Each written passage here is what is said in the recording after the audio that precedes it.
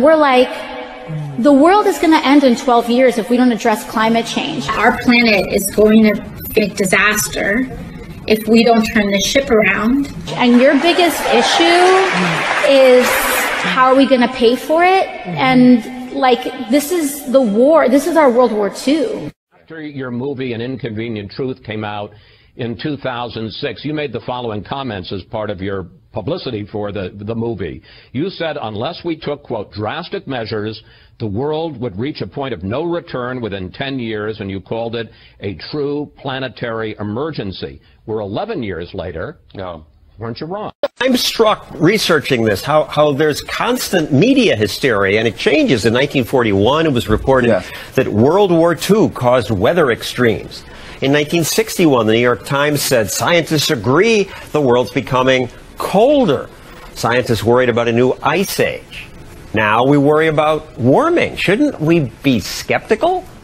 environment is being used for a power struggle. The environment is being used for centralized government. The environment is being used to make a one world government. That we are facing a battle against those that want to destroy a great United States of America. What troubles me about this is that um, uh, there is a, a general uh, tendency, I think, on the part of, of our leadership that we need to uh, submerge the, uh, the goals and the uh, sovereignty of the United States to the goals and the sovereignty of the uh, uh, United Nations. Our country needs us, and we need people like George Soros what sort of a financial deal should Obama be seeking to strike when he travels to China next month? No, I think this would be the time because you really need to bring China into the creation of a new uh, um, uh, uh world order, uh, um, uh, world order, world order, world order. Is there going to be sort of a tipping point, a moment at which the dollar is fatally weakened, or does it just sort of carry on? An orderly decline of the dollar is actually desirable. Um, a decline in the value of the dollar is necessary in order uh, to uh, compensate for the fact that the U.S. economy will remain rather weak, will be a drag on the global economy. Uh, uh, China will emerge as the motor replacing the US consumer. And of course, it's a smaller motor because the Chinese economy is much smaller. So the world economy will have less of a motor. So it will move forward slower than it has. If the value of the dollar declines, our standard of living will plummet. Some Chinese factory workers work 12 hours a day, seven days a week. They live in dormitory rooms with six other people. You do not want what George Soros wants for us. George Soros heavily funds politicians that align themselves with his plans. Open borders. It is time for Americans to throw the new left under the bus. Well, last year, criminal justice policies changed dramatically in the city of Philadelphia after a new DA, Larry Krasner, took office. He was backed by George Soros, and Krasner massively scaled back law enforcement in the city. Prosecutors stopped prosecuting numerous crimes. They stopped seeking cash bail for even some felonies. They deliberately imposed shorter prison sentences. Dozens of prosecutors were fired. So what happened? Cause and effect? Well, the most murders in a decade. Well, Black Lives Matter is seeing green, the activist group now cashing in on tens of millions of dollars from liberal foundations and donors, despite inciting violence with chants like this. pigs in a blanket! pigs in a blanket! That's right, a chant calling for the murder of police officers. Well, the Black-Led Movement Fund is a donor campaign aimed at raising $100 million for the group. That's in addition to more than 33 million in grants from top Clinton donor George Soros, whose aim is to destabilize this country. So, Yuri Bezmenov warned us about the communist intent to destabilize our country.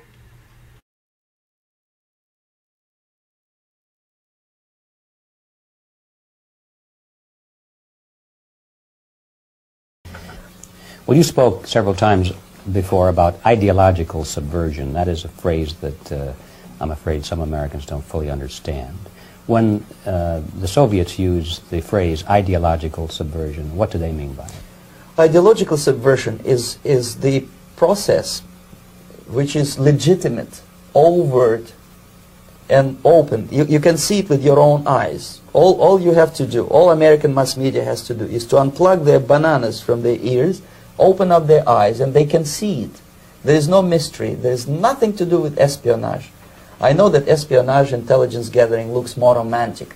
It sells more deodorants through the advertising, probably. That's why your Hollywood producers are so crazy about James Bond type of, of, thrillers. But in reality, the main emphasis of the KGB is not in the area of intelligence at all. According to my uh, opinion and opinion of many defectors of my caliber, only about 15% of time, money, and manpower is spent on espionage as such. The other 85% is a slow process which we call either ideological subversion or active measures, активные мероприятия in the language of, of the KGB, or psychological warfare. What it basically means is to change the perception of reality of every American to such an extent that despite of the abundance of information, no one is able to come to sensible conclusions in the interests of defending themselves, their families, their community, and their country. It's a great brainwashing uh, process which goes very slow and it's divided in, in four basic stages. Uh, the first one being demoralization. It takes from 15 to 20 years to demoralize a nation. Why that many years? Because this is the minimum number of years which requires to uh, educate one generation of students in the country of, of, of your enemy, exposed to the ideology of the enemy. In other words, Marxism-Leninism ideology is being pumped into the soft heads of, of, of, at least three generations of American students without being challenged or counterbalanced by the basic values of Americanism, American patriotism. The result? The result you can see. Most of the people who graduated in the 60s, dropouts or half-baked intellectuals, are now occupying the positions of power in the government, civil service, business, mass media, educational system. You are stuck with them. You cannot get rid of them. They are contaminated. They are programmed to think and react to certain stimuli in a certain pattern. You cannot change their mind, even if you, if you expose them to authentic information, even if you prove that white is white and black is, uh, is black, you still cannot change the basic perception and the logic of behavior. In other words, these people, uh, uh, the process of demoralization is complete and irreversible. To get rid society of these people, you have you need another 20 or, or, or 15 years to educate a new generation of patriotically minded and, and, and uh, common, common sense people who would be acting in favor and in the interests of, of the uh, of the United States society. And yet these people who've been programmed and, as you say, in place and Yes. who are favorable to an opening with the Soviet concept, Mhm. these are the very people who would be marked for extermination in this country? Most of them, yes, uh, uh, simply because the psychological shock when, when they will see in future what the, what the beautiful society of equality and social justice means in practice, obviously they will revolt. They, they, they, will, uh, they, they will be very unhappy, frustrated people. And the Marxist-Leninist regime does not tolerate these people. Uh, they, obviously, they will join the links of dissenters, dissidents. Uh, unlike in present United States, there will be no place for dissent in, in future Marxist-Leninist America. Uh, here you can you can get uh, popular like uh, Daniel Ellsberg and filthy rich like Jane Fonda for being dissident, for criticizing your Pentagon. In future, these people will be simply squashed like cockroaches. Nobody is going to pay them nothing for their beautiful, noble ideas of equality. This they don't understand, and uh, it will be greatest shock for them, of course. The demoralization process in the United States is basically completed already. Uh, for the last 25 years, actually it's overfulfilled because uh, demoralization now reaches such areas where previously not even Comrade Andropov and, and all his experts would would even dream of such a tremendous success. Most of it is done by Americans to Americans, thanks to lack of moral standards. As I mentioned before, uh, exposure to true information does not matter anymore. A person who was demoralized is unable to assess true information. The facts tell nothing to him. Uh, even if I shower him with information, with, with authentic proof, with documents, with pictures, even if I take him by force to the Soviet Union and show him concentration camp, he will refuse to believe it until he, he is going to receive a kick in, the, in his fat bottom.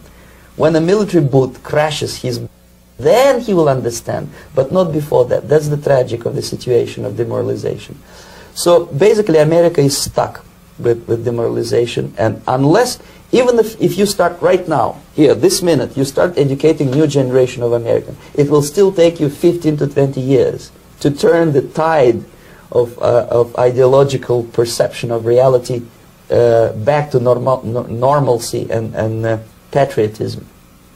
The next stage is destabilization.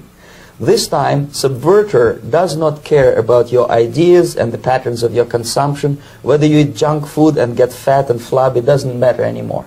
This time, and it takes only from two to five years to destabilize a nation, uh, it's, what, what matters is essentials. Economy, foreign relations, defense systems.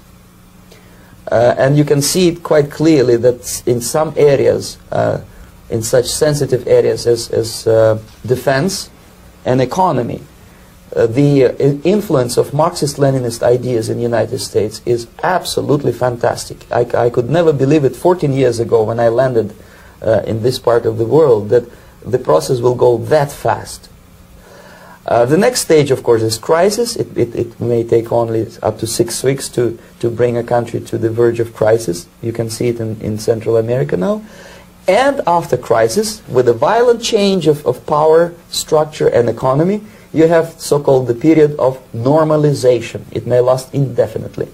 Normalization is a cynical expression borrowed from Soviet propaganda. When the Soviet tanks moved into Czechoslovakia in 68, Comrade Brezhnev said, now the situation in brotherly Czechoslovakia is normalized. This is what will happen in the United States if you allow all these schmucks to bring the country to crisis to promise people all kind of goodies and the paradise on earth, uh, to, to destabilize your uh, economy, to eliminate the principle of free market competition, and to put a big brother government in Washington, D.C.